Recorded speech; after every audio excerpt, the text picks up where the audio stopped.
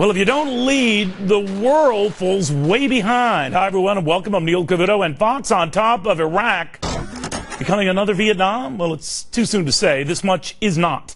From the moment Barack Obama drew a line in the sand in Syria and then erased it, bad guys the world over seem to have called our bluff, and they are running with it.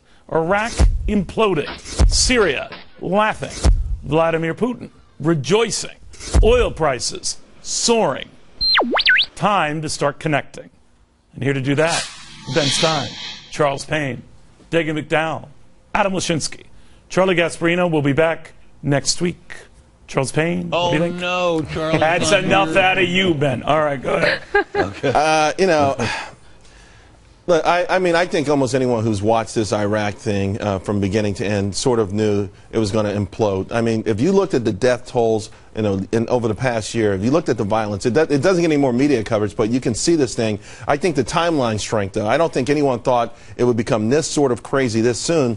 And to your point, there's no, there's no bad character, no bad actor in the world that takes President Obama seriously. And if you don't take the president seriously, then you're going to go with grand ambitions, and we're seeing it around the world. Is this a leadership vacuum kind of thing? Dagen, what do you know?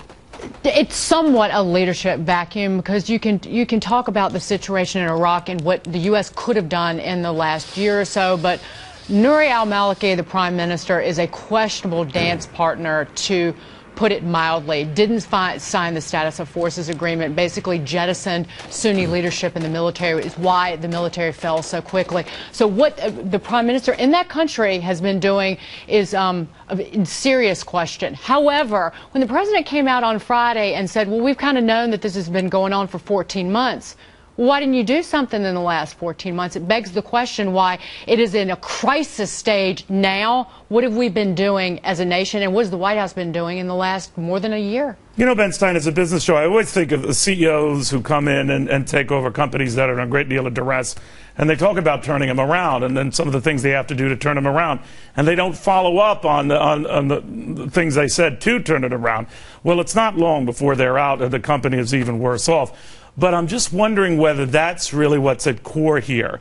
Uh, a president who didn't It's do what he said he would do. It's far worse than that.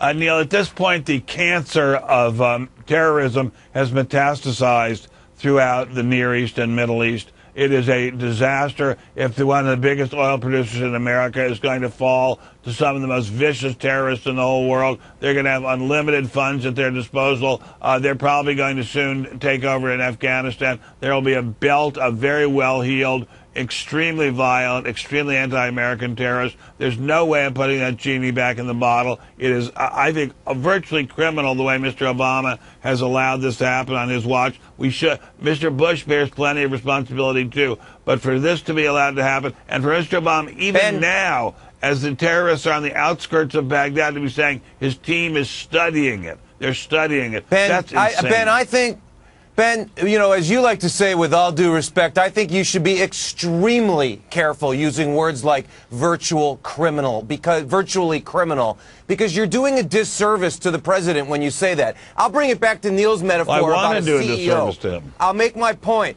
The shareholders and the investors were extremely clear. The American people were extremely clear they wanted to be done with the war in Iraq.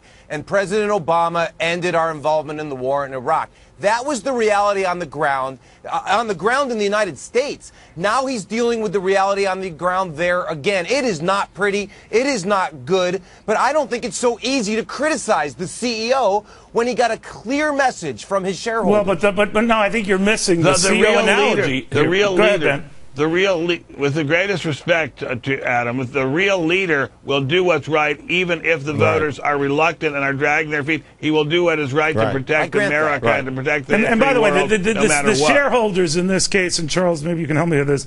We're, we're, you know, it's one thing to say we're tired of a war and all this, but we're not going to just completely abandon the situation and not leave, even as military authorities said there, a contingency force in place Right. to deal with just this sort of thing to improve the transition. Now, it's easy to second guess that, but what we don't have to second guess is the threats that the president has made in the past that he didn't follow up on. Whether you have forces in the region or not, when you don't follow up on a threat, it, it emboldens those who like to be threatening. Exactly, 100% right. And, you know, listen, Adam has a point about how complicated this is. No one disagrees with that, but I agree with Ben's point in the sense that not only did the president, you know, fumble this in a, in a major way, but he, he politicized it to say, hey, we're, I'm the, re-elect me. I got us out of Iraq as if, okay, we left and we left it as, as a place that's, you know, it's not some sort of Potemkin village. That it's not going to collapse five minutes after we were gone. And as it turns out, it's collapsing even faster well, than that. that goes to my point is that the White House and the president didn't address the threat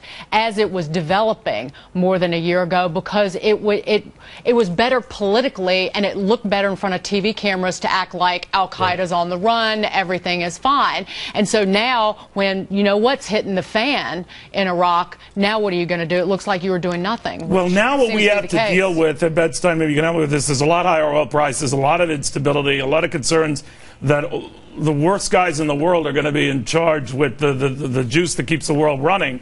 And it gets worse. Uh, I'm just wondering the financial fallout from this. What do you think?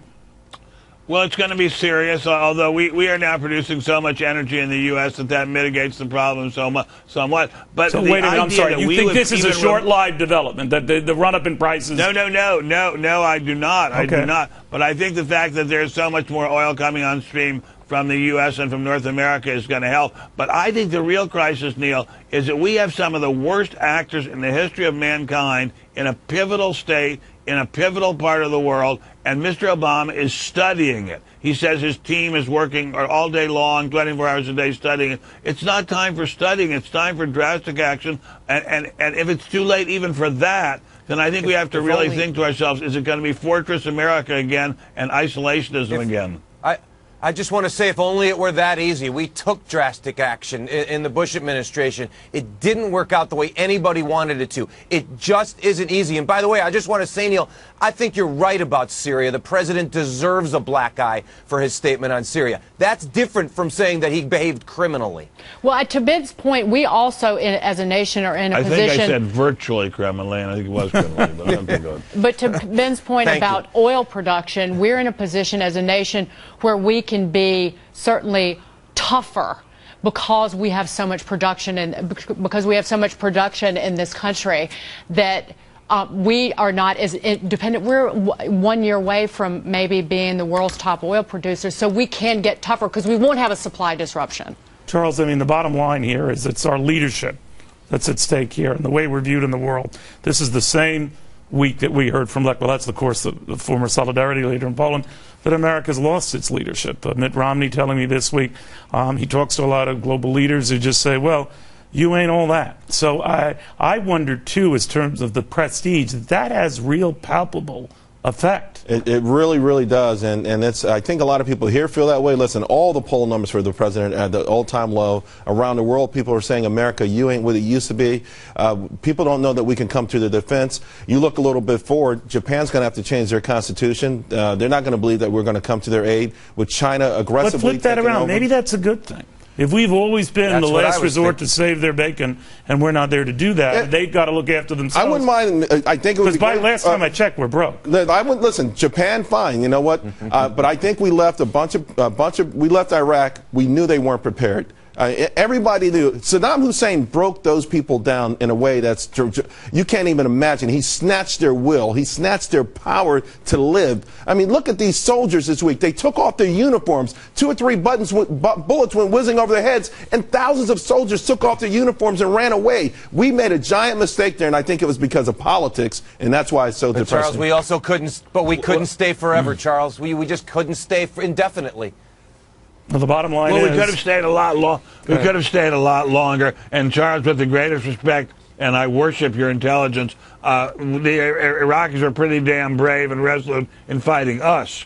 If they had been No, you know who fought us, Ben? A lot of those people fought us. us who fought us were insurgents. If you study the Iraq War, they weren't the Iraqi people. I have friends who over there who as private contractors in the military. Think about it. They, most of those people were insurgents from different countries, and, and the Iraqi people themselves have been broken in half. And you saw some of the training video, videos. They weren't ready. Well, I, I do. Well, I think the Iraqis are pretty brave people by and large, but but the terrorists are simply overwhelming them, and there's no stopping point. There's no stopping point. Well, to that point, you can hear somebody like KT McFarland say if these two groups of people want to kill each other, then we should step out of the way and let them kill each other. Well, that might be what's happening. Um, but there are actually more than two groups now. I think they're like half a dozen.